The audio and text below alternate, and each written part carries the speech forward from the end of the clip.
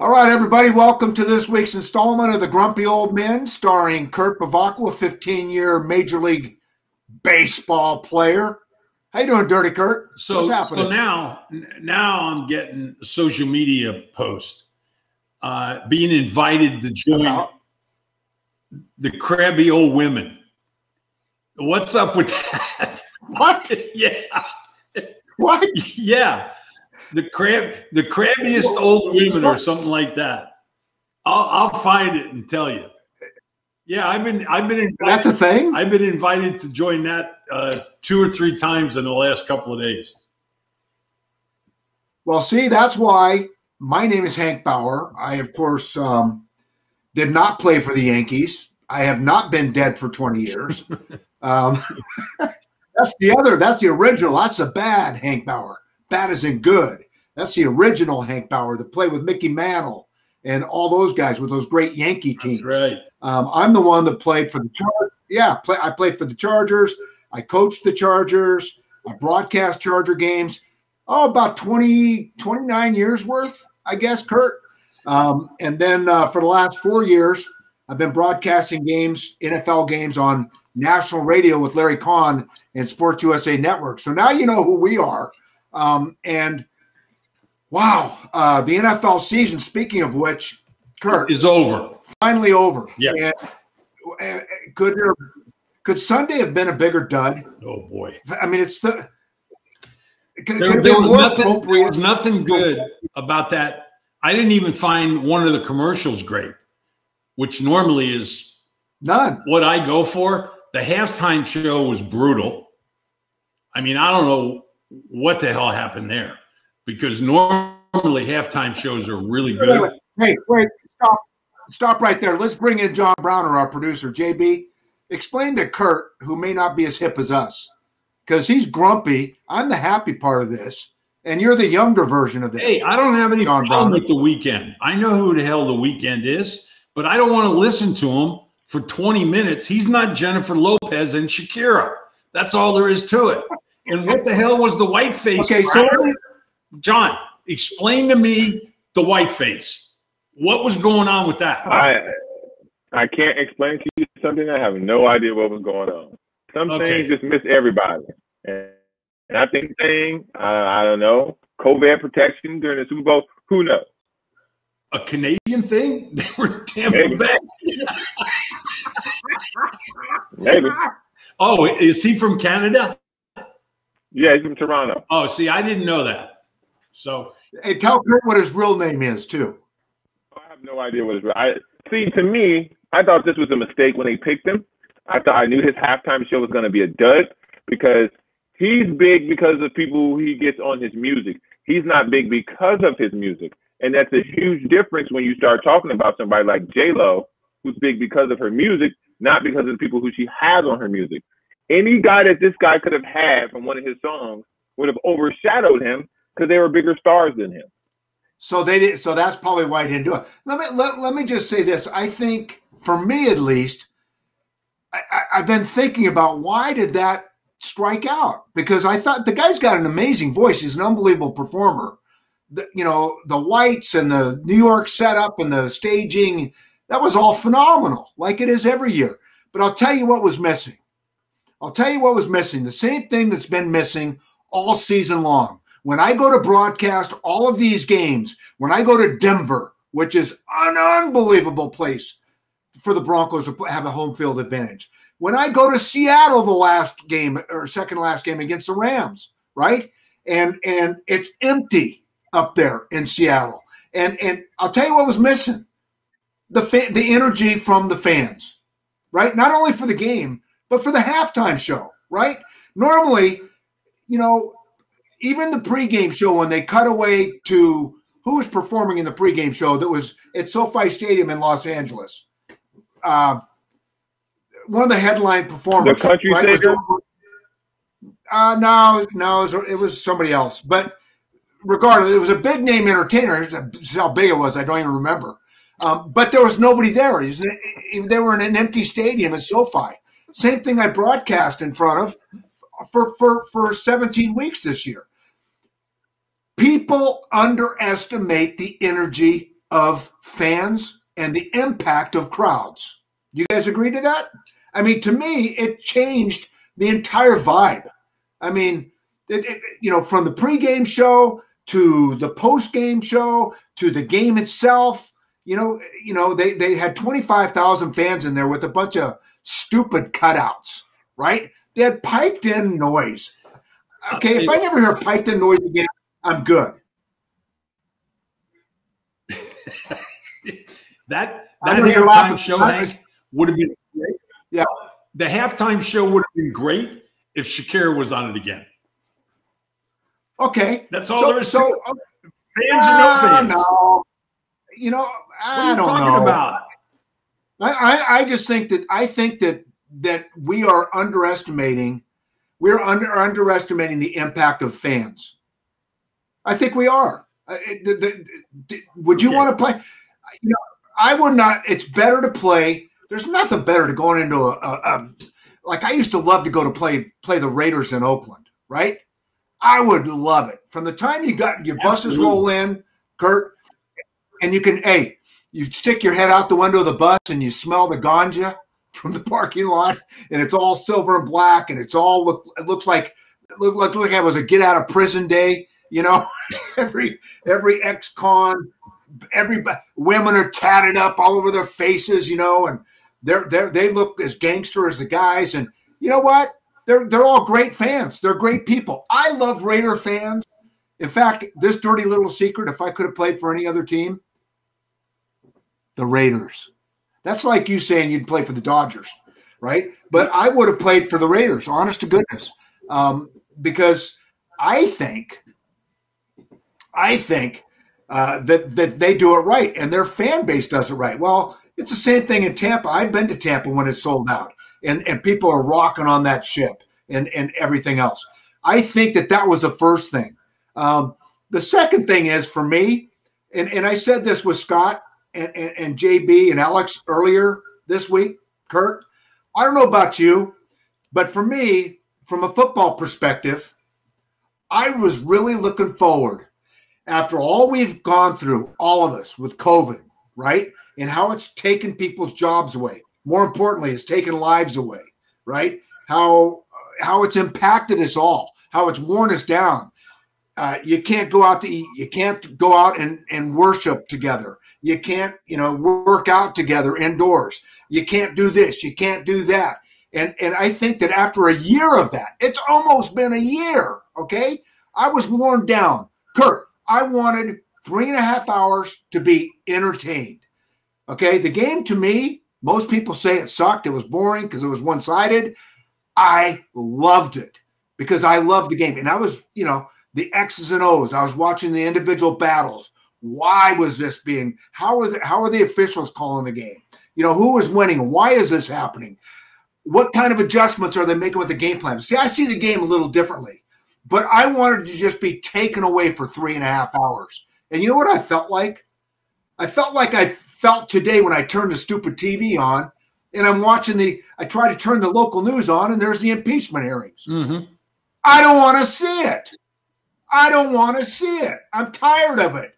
Okay. I'm tired of hearing about COVID. I'm tired of, of, of impeachment. I'm, I'm tired of this. T- and every commercial, I wanted to be entertained. I wanted to go, wow, that was really funny. That was creative. That was cool. No, it seems like everyone, subliminally or not, had some kind of message or political uh, connection. And, and it, just the whole thing wore me down. It did. And, and goodness gracious, thank goodness it's over. But all of that said, it's still it was still it was still for me it was still good because I love the X's and O's. If I for all the other reasons though, that was terrible. It was it was awful. Well, like my good friend said, and you know him, Craig Shoemaker, he's never been so happy for the weekend to be over.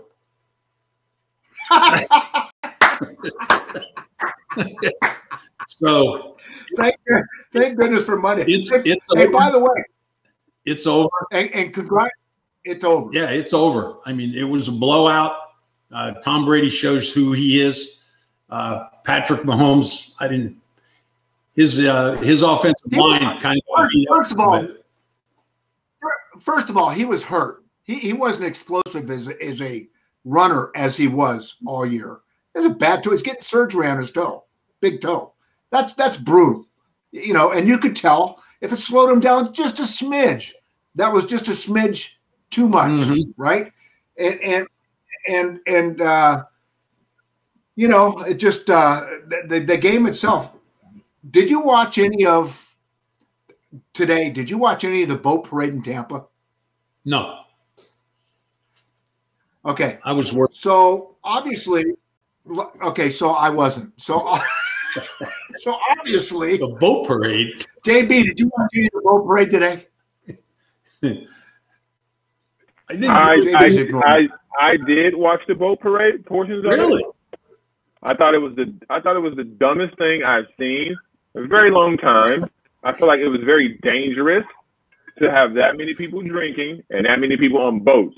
Look, if you're on a, right? if you're on a float like in a parade, those have brakes like wheels.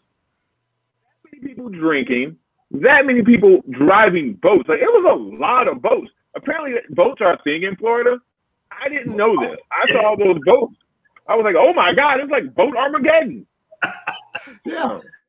And Brady's got his his whole family and crew and all his friends and family on his million dollar yacht, right? He's hey, you know you're big when you when you're on your own yacht, right? Your oh, yeah. two million dollar yacht. Oh, it's a two million dollar yacht. Yeah. So so here's here here's the thing. Here's the thing about that. Okay, and this goes back to a story, Kurt, before the Super Bowl that I thought was really downplayed. Um, well, two things. I want to talk about the diversity of players and coaches, right? And one of the greatest things to come from playing in the NFL, playing in Major League Baseball, you are teammates, you are brothers, you live with these guys for eight months out of the year or, or more. You go through ups and downs and you get the most diverse group of people, right, Kurt? Oh, yeah. I mean, absolutely. I'm, I'm watching, I, am and I'm watching these guys on these boats, and I'm thinking Tom Brady couldn't be more different than Vita Vea, right? Vita Vea is this 350 pound defensive tackle, you know, with the with the long Polynesian hair, and he's huge, and, and he's smoking a cigar, and he's on the mic, and he's and he's and that's not usually his personality, but you know, he's doing that thing, and then you got Brady over there with his family and his you know in-laws and on his two million dollar yacht, and I'm thinking to myself, how great is a locker room, right? How great is a locker room when nobody like a, like a Tom Brady can only be as good as the lowest paid guy in the roster, right? Because if that guy screws it up, you might lose a game. And isn't that the most wonderful thing about team sports? And and and I got to tell you, diversity. You know, I, and I want to ask you one story if you could think about it while I tell mine longtime Charger fans, you'll remember guys like Chuck Muncie, like Fred Dean. Okay, both of them have left us. Both of them are with Marty Schottenheimer, hopefully up in heaven, right? So Fred, Fred and I used to, you know, hang out because we had the same agent, right? And and it was Fred and Leroy Jones and uh, Charles DeJurnett. So it was three defensive linemen and me They had the same agent on our team. So we would go out every week and I got to know Fred real, real well.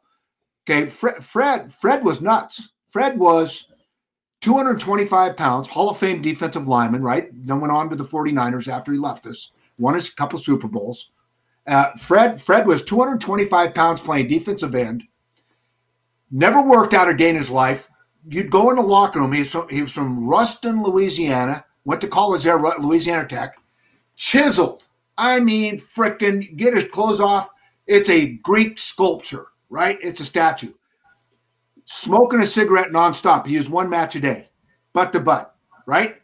Throw him away, light up another one, and butt to butt till he went to bed. Drank like a fish. Would go out there, kick everybody's ass, right? Heart of gold, but an absolute maniac terror from down deep down south in Louisiana. But you know what was great about Fred? Fred adopted you like a brother in the in the clubhouse. In the lock, we call it a locker room. You call it a clubhouse. And and Fred, I love Fred, and Fred loved me. I know that. But we couldn't have been more different people. And and Fred eventually, the the story is, of course, he went into the Pro Football Hall of Fame. I hate when people say NFL Hall of Fame. First time somebody says that, they don't know their ass from a hole in the ground. Pro Football Hall of Fame, right? Um, so so Fred, his last bunch of years, was living down in his hometown in Ruston, Louisiana, Pro Football Hall of Famer, ordained minister, changing lives. So I've never seen anybody change more than that. But the but but the message was, and this is what's so great about a guy like Bruce Arians, right? You've got to pull all of these different personalities together. And the great managers, I suspect, the great head coaches in the NFL can do that and get everybody rowing together. Get the Fred Deans rowing with the Dan Fouts, right? So, did you have guys like that? Your diverse locker room? I'm sure you guys. Because you get guys from the Caribbean and we had uh, well you're you know your um, your numbers are probably a little bit different than major league baseball. Um, in the yeah we had we had we had probably 70 to 80 guys in the in the locker room. Right. Right. And how was it split so you don't have a lot of guys. Uh, in terms, you don't have a lot of guys from Korea and Japan. So you basically have white and black. So what was the split? If I was to guess, I would uh, say 70 30, 60 40. Is that about right? Black? Yes. Black to white. Yeah. Correct. Yeah, definitely. Okay. Definitely. Definitely. I'd say conservatively those numbers aren't even I would love it if if it was if it had been a more parallel number. But the biggest the percentage ever got for black uh, Americans in the, in Major League Baseball was 18.7 percent in about 1976 or so. And now it's wow, down. I did not know that. Yeah, that was that's it. And uh, hey, Kurt, do you do you think that do, do you think the lack of black people either playing baseball after the '70s or or just kids not picking it up in the in, in the '90s and in the, in the 2000s? Do you think that has hurt the image of baseball across America? Anytime that you're not putting the best players on the field I think it hurts the sport, John. The um, and I blame the fact that there's not more blacks in Major League Baseball on a few things, and I'm going to put the blame on them as much as the other things. I tell you what, it's certainly not because there's racism involved. That is for damn sure. They have more choices. Um, a lot of them are two and three sport athletes where you see white America nowadays growing up and only being a one sport kid. I mean, they're not letting kids play football and basketball anymore. I mean, my quit my kid quit playing basketball when he was uh, when he was a freshman, and I really kind of wanted to see him continue to play. I wanted him to have that cross reference on a sport because I think it makes you better in the other sport. So, you know, the fact that the numbers are down for um, for blacks in Major League Baseball than nine percent. Hank, how about that number? Nine percent. Uh, now, now does that does that include the guys from like Puerto Rico and all that? Well, if you got if your skin's dark, they're going to include it. Yeah, absolutely. But there, well, you know what? I take that back. I take that back. That might not be true. I think that in Major League Baseball, I think the numbers are pretty defined when it comes to black, um, Hispanic, and I don't even think we call it Hispanic. I say we. I don't even think they call it Hispanic. I think they, uh, it's guys from the Caribbean. I mean, you're going to see that number getting bigger as the years progress uh, over blacks and over white guys in Major League Baseball because that's all those kids care about. That's all they know. They're going to continue to play, Yeah. uh, and we'll continue to talk about it. I mean, it's this is something that we'll continue to talk about after the break. All right, let's do that. Okay. It's uh, it's the two grumpy old guys, Hank and Kurt, and we'll be back right after this. well, I'm going to bring it back because Hank is just sitting there frozen, all all smiles. Look at him. He, he had such he had such a great time the first segment. Uh, talking about how bad the Super Bowl was, and then, and then we got into a real discussion about blacks in Major League Baseball opposed to blacks in the NFL or pro football, as Hank likes to call it. It there's a big disparity, and the blame does not go on the front office of Major League Baseball because they don't want blacks. Uh, nobody, you'd have to beat me forever to get me to uh, to admit to that because it's just not going to happen. There's no way it's happening. If they can make their teams better, they don't care what color people are. So here's what the bottom line is the black kids are growing up in the atmosphere that they're having to grow up in. They've got parents that might be together and might not. They're growing up in the ghetto. They're getting an opportunity to play either basketball, football, or baseball. What are you going to do? And then they've got Let me The- present. Let me present to you a, a, another side of that argument. okay, what both of you guys have to say about this, but but Kurt, you first. The Major League Baseball invests lots of money into the Caribbean. They invest lots of money into South America. They invest lots of money into Cuban baseball. That same amount of money isn't invested within the inner city here in America. And so when I pose that question to you, it's not that the question has so many different uh, ways why the issue is, but I agree with you 100%. The reason why there aren't more black kids playing baseball because black kids aren't choosing to play baseball. I that's for sure.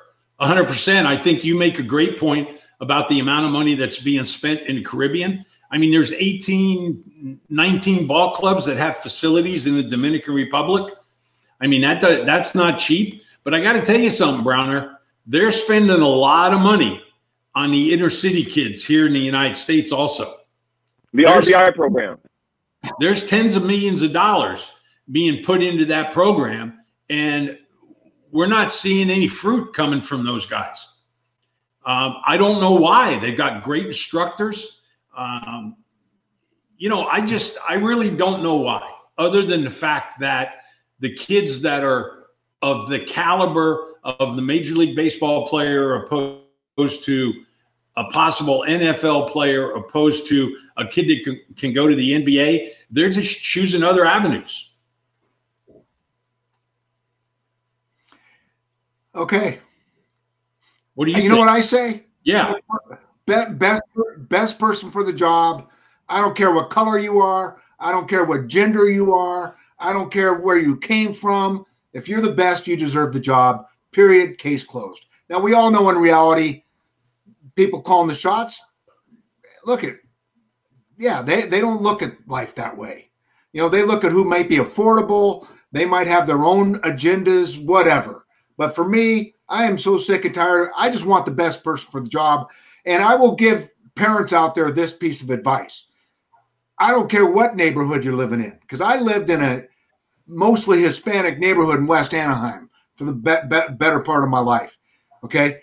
And and my advice is A, get your grades up because the chance of you playing professional sports are fractional. And B, play every sport because every sport you play is going to carry over to make you a better player in the other sports. You know, my first love was baseball, Kurt. You know that. I grew up with Gary Carter and I grew up playing baseball in Orange County, right?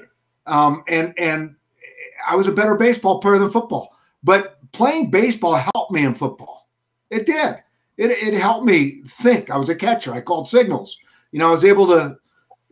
There, there's carryover values if you play basketball. I, I wrestled, which is I learned about leverage. So my my advice is, eventually kids will choose. You know, find we need to what we need to do as a society though.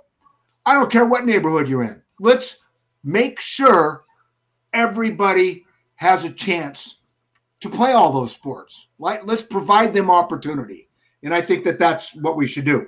By the way, we, we were talking about the boat parade, Kurt, and, and, and JB mentioned all the drinking that was going on on all the boats. You did too, about how, you know, this Tampa Bay celebration in Tampa today.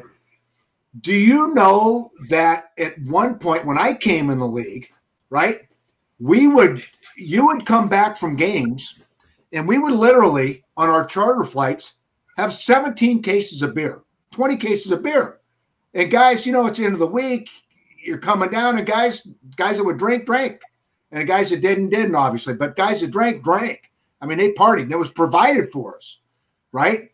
And I'm thinking to myself, wow, do these people not remember that Dallas Cowboy offensive lineman that came off one of those charter flights and tragically got into a car wreck and it was a serious thing? And then I started thinking about Brett Reid, the son of Andy Reid, And, you know, he had a DUI prior. Then last Thursday, he got in that car crash. And and I, I don't have an update on the young two young kids that, that were involved in that on the other side that were impacted, but our prayers are with them. And I'm thinking, you know, that's not the way it is now in today's world. Now, I get the season's over, but this is still an NFL and a team function, isn't it? And isn't there, because of the liability issues, every flight that I've ever been associated with has been a dry flight, every charter, because the NFL knows that the team knows that they eventually will be liable if something happens after you provided alcohol to a player who then gets in a crash, right? I mean, that's just what happens. So, so I'm thinking to myself, that's all I could think about when I'm watching these guys party, and I'm going, please call an Uber, right? You know, please be be safe. And and I'm thinking to myself, I see the GM up there drinking beer and Bruce Arians drinking beer himself as well. They should, and I'm sure that they had a designated driver, right? I'm sure they did, because they're smarter than that. They're executives. They've got to, especially all that we saw last week. But goodness gracious, I thought, man, I hope that this team, I hope the team is not providing this alcohol and I and I pray that nothing happens tonight. Well, just think the only boat parade that was in town when you first started was Ark, the Ark. Are you calling me old? You call me no? Grumpy old man. Oh God! Talk for a minute about Marty Schottenheimer, Hank, because he he just oh. recently passed away. He was such such a great man, and I uh, only spent time with him on the golf course uh, on a couple of occasions, but I know that you were much closer to him. So, talk about Mark. Well, you know, I think that I think that when when all's said and done, we're all going to be judged. You know, it's great that Kurt Bevacqua played 15 years in the big leagues, but it's more important that that Kurt Bevacqua impacted people because of his baseball in a positive way, right? and and and Marty changed so many lives. There's not, I mean, he impacted so many lives in his career. The football part of it, 215 wins. Uh, you know, his coaching tree, the impact he had. Think about this. People don't mention this enough about him. There is a reason his guys have gone on to four Super Bowls that worked for him because they learned from him. I'm talking Bill Cowher, right? I'm talking Mike McCarthy, I'm talking Tony Dungy worked for Marty Schottenheimer. People forget this. You know who else worked for Marty Schottenheimer? Bruce Arians, right? And they all took a bit of Marty because we all do that as we coach, and and and uh, and, and and so his impact. Even here's a here's a here's what sucks. He's in the top seven most wins, 215 wins, right? but he sucked in the his team sucked in the playoffs. Three and fifteen in the playoffs. Is Marty ever going to get in the Hall of Fame? Look at his coaching tree. That's right there with with Joe Gibbs coming, Joe Gibbs and Ernie Zampese and all these guys that came from Don Coryell, right? And and and and and all the guys in the in the Sid Gilman and and and. But is he going to get in the Hall of Fame? Because he never did well in the playoffs? I don't know. How can you go 14 and 2 with a with the team and get fired oh. the next year. Okay, let me just tell you exactly what that was. Yeah, I can't wait. You know, no, I'll tell you exactly what that was. That was a power play between the general manager at the time and Marty, right? And no matter what anybody wants to say, they didn't get along. It, it, they got along to try to win, but you know, look at there's got to be Fouts wore the hat, MFIC, my friend in charge. Okay, that's my story. We now we all know it's something else, right? It is the mother something in charge. Okay. There's got to be one MFIC in every or great organization or business, right?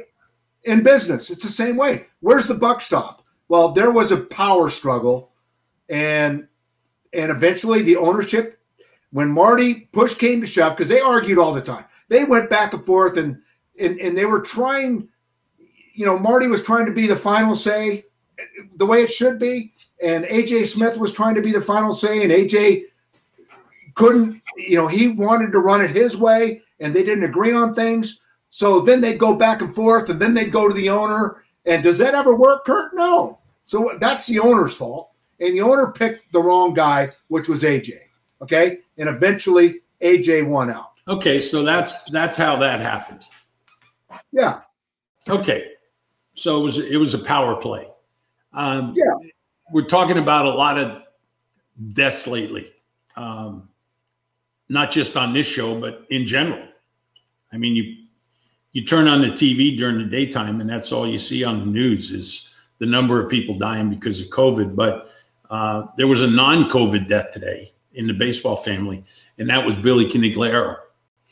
Uh, Billy Conigliaro, for those don't know, uh, was the younger brother of Tony Conigliaro, who was great um, White Sox. They were both. They were both pretty good players for the Boston Red Sox.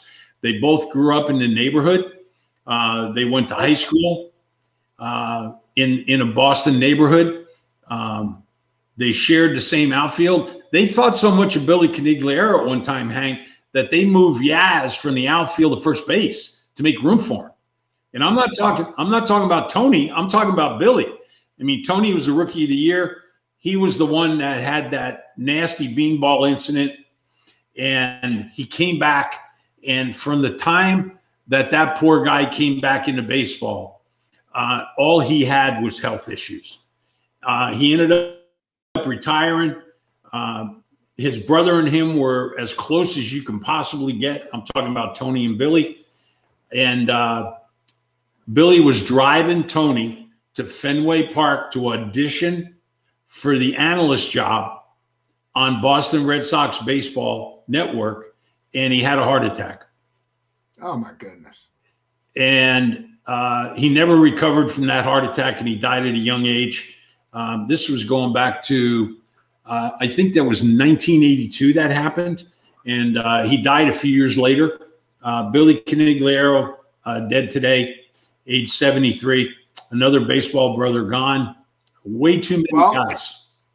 Comes in threes, right? Pedro Gomez this week, 58 years young. Boy, uh, I, am glad you remembered uh, Pedro because uh, the, you talk about a nice man. You know, you meet you meet nice people uh, in the game, and every once in a while, there's people that aren't so nice. Pedro Gomez was one of those guys that was a great guy.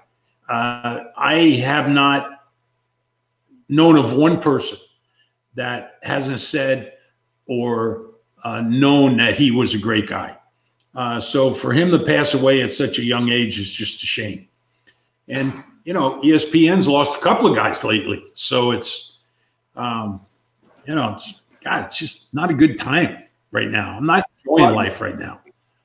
Yeah, but you know, okay, I'm gonna I'm gonna lighten it up and I'm gonna yeah. go back to being positive. Do that. So I'm going. Back, I'm going to take it back to the boat parade in Tampa today. Oh, I'm I'm I'm watching these guys and I'm thinking to myself, you know what I miss, Kurt? You know what I miss about playing? You know, we all miss everything. We we miss all of it, right? For the most part, you miss the even the crappy things. Yeah, yeah. I miss the diversity in the locker room, where you know what, we had our own law we had our own guys that took care of our own sheriffs, our team captains, the leaders. we handled our own problems our own way, right? And we had guys like Fred Dean from Ruston, Louisiana. We had guys from the Bronx. We had guys from Chicago, Pete Shaw from Paterson, New Jersey, or from uh, Newark, New Jersey. We had guys from Los Angeles, Hollywood. And you know what? You don't get that in many places, do you? I, I, I liken it to, I liken it, honestly. I think all of our great heroes out there, our great heroes that serve our country, right? Our men and women, our women and men, I should say, that serve in the armed forces everywhere for us.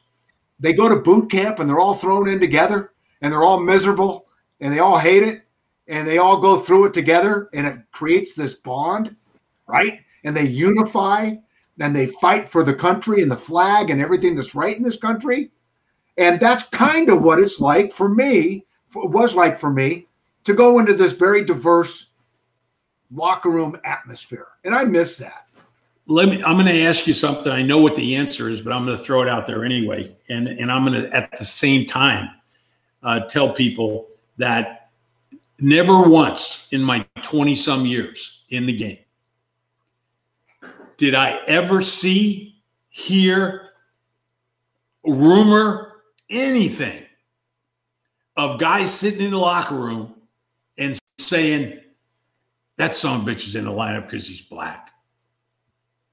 Oh, never. He's playing because he's white. The black guys no. were in the corner going. I mean, that's why our games, our profession was so great because there's no black and white. I mean, there really isn't. And I don't think people get that. They really don't. People from outside just don't get it. There was never, I tell you what, I've tell I've talked about the fights that I had with Wiggins. It was never a black and white thing. Never thought of by me, and I don't think by Wiggy either. It was never even entered my mind about him being black, and that's why we were fighting.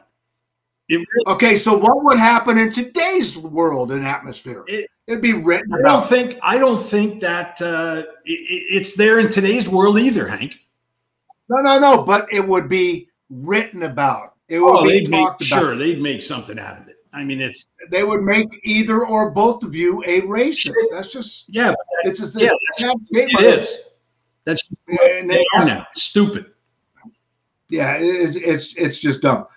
By the way, I got to tell you, on those team flights, Kurt, did they did you ever see anything real wild on those charters? What's the wildest thing you ever saw? Oh, I think they stuffed one of the stewardesses in the uh, overhead in the overhead bin. Who did that? I, I don't even remember. Yeah, you do. Might have been no, I really don't. Might have been Sam McDowell because he was like six six, six five. and now, now, now, now, so the fl- the flight attendant laughed it off, and it was good, right? I know she was pissed. Okay. Yeah. No, no, no. There was no laughing it off. I mean, I gotta tell, I gotta tell you, one of my two NFL records. I, I, we played the Saints clinch the playoffs. I had four carries, three touchdowns, and one yard and we clinch the playoffs. First time for the Chargers in, you know, 15 years. We drank all the beer on the charter. Here's how crazy it was. Not only did we stop to refuel in Oklahoma City on the way back from New Orleans, refuel. They, they, yeah, they brought on another 17 cases of beer because we clinched a playoff. Now that doesn't happen today right? All right. This, this, can't go untalked about in this show. Was the Dodgers signing a Trevor Bauer to about a $102 million contract. I don't want anybody out there listening to think for one minute that the Dodgers didn't sign Trevor Bauer because they're worried about the San Diego Padres. But I got news for the Los Angeles Dodgers. News news break right now. It's not going to do any good because Trevor Bauer's a mediocre pitcher. And for the Dodgers to have spent the amount of money that they did on him, unbelievable. Unbelievable. the amount of money that they gave Trevor Bauer. Now, did he have a good year last year? Does he have good? Does he have good stuff sometimes? Yeah, he does. But wait until he faces the Padres and Manny Machado goes to the plate with the 650 lifetime batting average he's got against Trevor Bauer. We'll see how that helps. So well, we're gonna see we're gonna see soon spring training set for a week from now. All systems are go. The NFL finished the season, so why wouldn't Major League Baseball? Kurt, you were magnificent this week, as grumpy as ever. Yeah, thank you very much. Uh, uh, and, and, I love and appreciate you for being such an a-hole. and uh, and and JB, I, I, like the effects. I like I like the effects. Yep. I hope everybody out there got to see them. Well, say good night, Hank. Good night. See you next week. Good night, everybody. What? No, uh, what the heck is this? What? Okay, what? Welcome to this week's installment of the Grumpy Old Men. Okay, I'm Hank Bauer. That's Kurt Bevacqua. You're seeing next to one of Kurt Bevacqua's commercials way back. Now, his wife Cynthia posted this this week, right? W- would you explain what's going on here, Kurt? She, hey, I don't have anything to do with that. Well, hey, what the hell is it? What, what, what? It was a what, McDonald's commercial. That? It was um, 1985 it was McDonald's commercial, and you could see who was in it. I mean, it was uh, T. Gwynn and Flannery and Carmelo Martinez and myself. Now, was that one? Did Ray Kroc own the team at that time? Obviously. Yes. No. Okay, and. Ray, for people that don't know, Ray Kroc was the founder and owner of McDonald's, who also owned the Padres. Correct, Kurt? That's correct. And it okay, was passed so, on down when Ray passed away. Joan Kroc took over. Ballard Smith, the son-in-law, was the president and uh, and also on the board of directors of, of McDonald's. So I really never put that. I really never put two and two together on that. I don't think we got that commercial because they own McDonald's. If that was the case, we'd have done a national commercial. That was oh, just oh, that was regional. only local. That was regional. So how did you get the commercial? So that, is that one of the things where somebody in the front office says you're doing this commercial, or or your agent calls you and says, "Kurt, they're going to pay you a hundred thousand dollars to do this commercial." And, and what did you get paid, by the way? And how long did it take? You know what? I don't even remember. To, I and I'm I'm not kidding. I don't even remember how much we got for doing that. And it took that that particular McDonald's was down in Chula Vista. Why they chose that one, I don't know, but you can see we're uniforms. We went to Jack Murphy Stadium and got got in our uniforms first. You would think they'd bring us to a a McDonald's Mission. We got to go all the way to and do it, and uh, it took us the better part. I mean, oh you can see all the choreography that's in there. Kurt, Kurt, give it up. Did you get paid more than a thousand? I swear to God, I don't remember. I really don't. Oh, come on, Kurt. More, more than 5,000, 10,000. I, I mean, to tell you, I, it wasn't, it wasn't 10,000, I would have remembered. Okay. See, and because I, I, mentioned this, and I, wasn't anything I, I wanted to start. I wanted to start, by the way, because number one, I loved it. I thought you guys were hilarious, and you guys were good, dancing in your Padre uniforms with Mickey D's. Are you crapping me right now? It was awesome. It was off the charts. And when your wife posted that, I went, "Oh, we gotta, we gotta, we gotta ambush this." And then, then no sooner did I see that commercial, I've got the TV on, and I see Alabama coach Nick Saban doing a commercial for Aflac. Now, okay, Nick Saban. I remember. What does he make? what is Nick's? And it's and I got to tell you, Okay, no, Nick Saban makes more than eight million. Guarantee it. JB John Browner could look it up for us. I guarantee you, Nick Saban. Yeah, he might be. Yeah, I think he's probably more than eight million. Uh, you know, I'm not sure, but no, Nick Saban. What he's why would you coaches to, at Alabama? He doesn't coach Dallas Cowboys. Do you not understand Alabama? Alabama. What is it, JB? Nine point three million dollars. There you go. KB, good guess, but more than eight. 9.3. Now, why are you doing why are you doing a crappy commercial? Because he was awful. You know what? Do your job, Bill Belichick. Do your job, right? Now, I guess the fact that we're talking about it, and I'm railing on how bad he. Yeah, they, they got what they wanted out of it. So I started thinking about commercials and stuff, and you know, I did my fair share of commercials when I was playing, Kurt. I had a car deal. Did you ever did you ever have a car deal? Most athletes have car deals, right? Yeah. Okay. Chevrolet, did you get paid Chevrolet or did you just get Mission Valley? The big one was La Mesa RV, though. I used to do commercials what, for La Mesa what? RV. And you got a free RV, or did they pay you? No, I didn't get a free RV. Okay. I, you know, it's just a, a, few bucks here and there if I ever needed an RV uh, for the weekend or something like that. I got one. I took the, an RV to spring training one year. It, it, see, what people don't get is these car dealerships. What they do is, did you have, you probably had to do this too. My, I had a friend, you know, Jimmy Williams, who owned Rancho GP at the time. Right. He says, hey, he says, Hammer, why don't you do a car commercial for me? And I go, JW, for you, I love you. You're like a brother, absolutely. And I and I liked his dealership. I thought it was great. And I ran, you know, Jeep at the time were, you know, the hot deal, right? Cherokees were just coming in. So I did his, I did his, I'll never forget the last thing I did in the commercial was I put my head through one of the windshield and broke it out, right? And I looked at the camera and there's no glass everywhere. I go, tough Jeeps, easy prices, right? And I'll never forget that. So the way it worked. Oh, so we don't get to see that. We get no, to watch me dance in a McDonald's commercial, but we don't get to see that. yeah, right, right. So, so, so, and this is a great thing about YouTube. You could probably find this stuff, or you know, on the internet.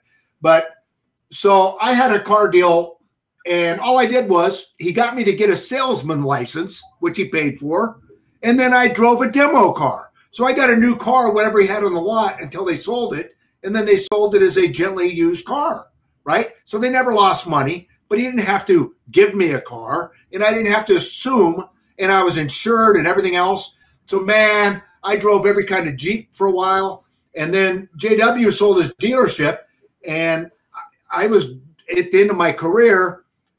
I went to work with this like Chevy dealer, and, and you know what they gave me? KB, they gave me a Chevy LUV pickup. And that's all they'd give me to drive. Same deal, but it wasn't much to do. And I had a free car to drive. Well, it's stupid to own a car if you're a single guy and then have a free car. So I, that's all I had was that car. Well, long story short, I, I break my neck. I have to retire in training camp, right? I announce my retirement. We're at UCSD at training camp. I do the press conference. I walk out after the press conference. Press conference. I'm going to go to the car, go home, get some lunch, and come back to go to work in the afternoon. Couldn't find the car, KB. Couldn't find the car. This is how bad it was. This this freaking dealership. This is this freaking greasy car deal, right? They picked it up. They he heard that I retired, and they came out and took the car. I had no car. well, I was gonna. Most guy, most guys your age that are single driving around in a white van with no windows in it anyway. right.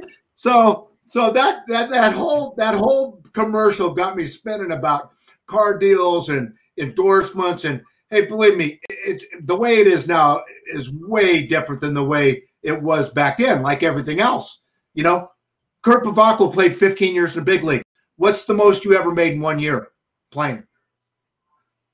My God, how many you've I, I, must have said this 15 times on this show already. I know, but other people might Kurt, people may be seeing this for the first time. Oh, that's right. It's not just me and you talking. Oh, yeah, that's I right. Forgot. Okay, so just answer the 180,000. Answer the freaking question, will you? Carry a on. Buck 80. A buck 80. Okay, Let's a buck 80. 15 years in the big leagues, and most I ever made was $180,000. Okay, I got seven years in as a player. Most I ever made, two-time special teams player of the year for the entire league. You know the honors dinner that they're having this weekend, the night before the Super Bowl. Not only did I win the award twice, and then was a presenter later. Most I ever made was hundred thousand dollars, Kurt. Hundred thousand. Now I never played for the money because I never got married and divorced like a lot of guys, Kurt, like and had kids like a lot of guys. And I didn't have one. So I, I played, you know, I didn't really care about the money. Money's never been the biggest deal to me. But but you know, um, these little things were were were big things. And I and I can't understand Nick Saban, 9.3 million, and you're making this Aflac commercial, and it's and it's bad. So and and so, you, it, so what do you think? What do you think that a guy makes like on those Aflac commercials? I, I, How much is he making? How much is uh, uh, Peyton Manning making? Oh, for those commercials that he does with that country western guy. Well, I'm sure that they've got you know got to go do you know corporate outings, and it's probably a whole package, right? If it's just taping the commercial, it's got to be seven figures. It's got to be. It's got to be. Nick Saban wouldn't do that crap. But but it's so Nick Saban. He's like Bill Belichick, right? Buttoned up, you know, straightforward. You know, 400 400,000 to record the commercial, and he's money every time the commercial runs. Wow. So if you're making 9.3 million, you're head of Alabama. Would you do it for 400,000 and royalties? Every time the commercial airs, he gets paid a, a, a, chunk, another chunk of money. So that adds up to being way more than a couple million dollars. Okay. okay. But if you if you're making 8.3 million as a coach of Alabama, 9.3 9.3 million as a coach of Alabama, and then you know he's got a shoe contract, right? And other things. Why would you piddle around and look he, like an idiot. He also owns multiple car dealerships in the south in the south uh, east. Well, see now that's a side of Nick Saban I didn't know. I don't know if because here's the thing: he's buttoned up, right? He's like Bill Belichick. You think Bill Belichick? Yeah. Well, have you seen it? Have you ever seen Bill Belichick do all this stuff? Any of this stuff? Nope. There you go. So that's the difference, right? I, I just, I was. Some people aren't approachable. Some people aren't approachable. Some people's agents are jerks, and advertising agencies and companies know to stay away from them. They're just saying, "Hey, if we don't have this much money, don't even talk to them." So they don't even go and talk to these guys. Evidently, Saban's got a reputation out there that hey, if we if we make him an offer, he might take it. So let's let's try. Bill Belichick makes twelve point five million dollars a year. Right, twelve point five. Thank you very much, John Browner. That's By the why way, Belichick JB, doesn't do it. I, we've we, we failed to, to to talk about our friend John Browner here, who produces this little segment we do, is also a partner on the air, um, and he's also got a show and a podcast with Bert Grossman, right? Yeah. Yes. And they're on they're on ten they're on the radio too, Hank. So would you care to share, JB, about that real quick? Yeah, uh it's the Browner and Burt show. We are on YouTube, same as this one, in a Great Friends Podcast Network, also part of the Kaplan and Crew uh YouTube page, what you guys are obviously watching this on right now. And we're also airing on 1090 like this show will in the future on Tuesdays from 6 to 7 p.m. Awesome. So let me ask you this. Uh, you mentioned YouTube. Uh, obviously, one of the many stories for Sunday's Super Bowl is Andy Reid. Have either of you guys seen the YouTube video because Andy Reid grew up in the LA area, San Fernando Valley. You know where that's at? You guys know where that's at, right? Um, it's yeah, it's, kind of yeah, it, it's just you know kind of off the 101 north of Hollywood. It's it's just so. Have you seen Andy Reid in the punt pass kick when he was 12 years old? Oh no! Have you I seen, seen that? JB, no. JB, if you can get that up on your phone and, and, and maybe flip it up here and so people can get an idea, all you got to do, Kurt, wait till you it, sit and watch it when you get time. Andy Reid was awesome. as a 12 year old in the punt pass kick. Now, I want you to see how big Andy Reid was as a 12 year old compared to the other kids. Okay, look at him. Look how big they look at him. That's Andy Reid. Oh my God. The other kids.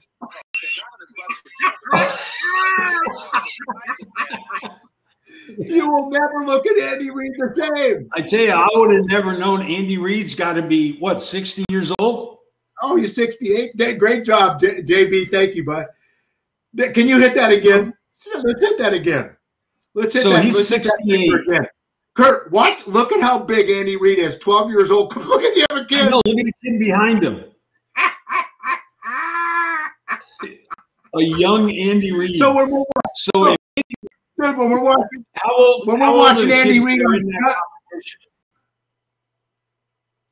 I he was a twelve year old. Those twelve year olds. okay, so that was fifty six years ago. Yeah, yeah, yeah. And he looks they like he hasn't grown. Contest. I can't believe they had it that far back. Right. So, so do yourself a favor, you everybody go on YouTube and search Andy Reid PPK, punt pass kick. It's hilarious. I just so when you watch the game on Sunday, Chiefs, Tampa Bay Bucks, every time you look at Andy Reid, you're going to have that visual, right? just a gigantic. Andy Reid's a hell of a coach. Yeah, he is. We'll find hey, out on Sunday just how good he is. No, there's no question. I'll tell you what else. Here's here's the thing. I'll, now normally Super Bowl week, it's a party every night. It's not like that with the pandemic and COVID and all that stuff. Um, they're still having, you know, some things in Florida is a little different. 20 some thousand dollar or 20 some thousand people. I guess 20 to 30,000 people are going to be at the game. Tickets, by the way, we, we that next segment, but impossible to get normally. Great, just forget about it now. Normally, the teams come in five, six days, four, five, six days before. They're there all week. There's big press conferences on, you know, Tuesdays, Wednesday nights, and and then they, they you know take turns practicing, and they're there all week. Andy Reid is going to. They're in Kansas City this week. Now Tampa's practicing in their home facility, obviously, right? Those guys get to right. live at home. Tom Brady's in his sixty thousand square foot house. He hadn't seen his kids and wife for I guess twelve days because they've been. She's been out doing her thing, making her supermodel gazillions, and the kids are gone. So Brady's in this big house by himself and will not have seen the kids. I don't even know if they're going to get there before the game. They're going to get there for the game, the whole family in it, obviously. But but he's got he's in his whole house preparing. The Bucks get to prepare in their home, in their homes, you know, in their home city. They're familiar, and that's a plus, plus, plus. The Chiefs, like all teams, like every team usually comes in like Monday or Tuesday, right? There's the big welcoming, there's news conferences, both teams on a Tuesday night, Wednesday night, and then it's just they practice at different places, and then the game's on Sunday. And that's a party they fly out Monday morning. Well, Andy Reid's keeping those guys. They practiced in Kansas City. They're not going out until after practice Saturday. They're flying down to Tampa Bay for one night and then the game, which starts really late, right? Sunday night, and then they're back out on Monday. So this is so why is Tom Brady separated from his wife and kids? No, the wife and kids just traveled somewhere. They're just out of town. They're just out of town. You know, they were they had you go out of town a couple of days before the Super Bowl that your yeah, husband's going to play in. What the hell's going on with that? They're coming back hey, Kurt, I I've never dated a supermodel, unlike you. Okay, so I, I, I don't know what goes on with Gisele Bündchen in her in her clan. Okay, but I thought it was really interesting. uh, that that that's the way they're preparing. Um, here's the other thing, real quick. We got one minute, and we're going to take a break. Uh, COVID is never going to go away this year in terms of a story. Two Kansas City Chiefs got haircuts from the same barber. Wide receiver Demarcus Robinson and center Daniel Kilgore. Same barber, right? The barber tests positive for COVID. Now, these guys tested negative, but they got a quarantine. They can't practice. And as right now, they can't play until they get like five straight days or whatever it is testing negative. Okay. And they've tested negative. Do you know? Think about this how crazy this would have been. Patrick Mahomes had an appointment with that same barber, as did 20 of the Chiefs players and staff. And this guy tested positive before all those guys could get in and get exposed. Or this thing would be out of control, biggest news, craziest thing ever happened. Off the cuff. Hank, you're a bundle of knowledge, but you're going to have to hold some of it back until this break. We'll be right back, okay. folks.